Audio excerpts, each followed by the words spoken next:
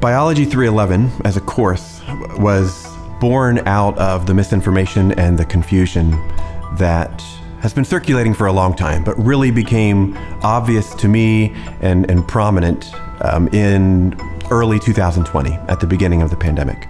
We saw a lot of confusion, a lot of questions that people had because they didn't know where to go to get the right scientific information. We spend the first two to three weeks talking not about microbes specifically, right? not about how bacteria work, how viruses work, but we, are, we, we actually talk about how science works. The class aims to inform or, or educate a non-biology major student in the basics of microbiology. So what bacteria are, what viruses are, what fungi are, how they work, what, what they do for us and for the environment, so the benefits of these microbes, and of course, it also talks about microbes as agents of disease.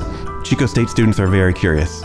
Um, and they trust their faculty. It's been very rewarding for me to be that person who can, it's been a little bit humbling at times as well, but to be that person who the students can see as um, an expert in these things.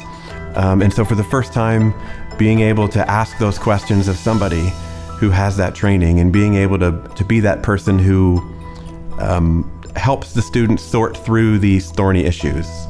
And not just giving them the correct answer, um, but backing that answer up with data.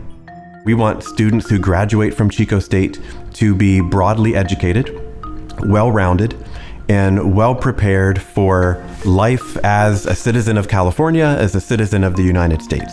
We, we really are, throughout the semester, trying to focus on um, discussions and activities where students can become better critical thinkers, be able to um, critique sources of information and analyze those sources of information to see whether the student should internalize that as, as a part of their knowledge or understanding, or whether they can reject it based on data and evidence.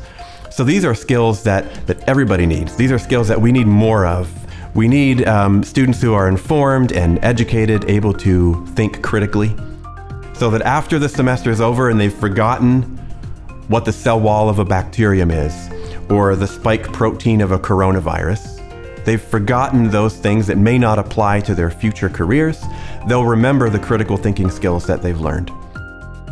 So these are the kinds of skills that we really try to hone in our students at Chico State. Um, and it's, it's the support of not just uh, Chico State and of the California State University, but the California taxpayer in funding this institution that helps to promote and develop those skills that our students and our citizens so desperately need.